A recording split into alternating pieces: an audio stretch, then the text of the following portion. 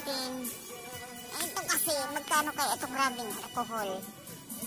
Maganda ito eh.